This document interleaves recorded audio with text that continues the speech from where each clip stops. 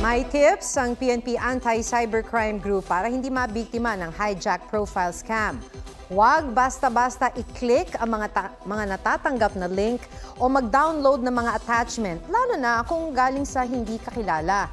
Gumamit ng malakas at kakaibang password para hindi madaling ma-hack ang inyong account.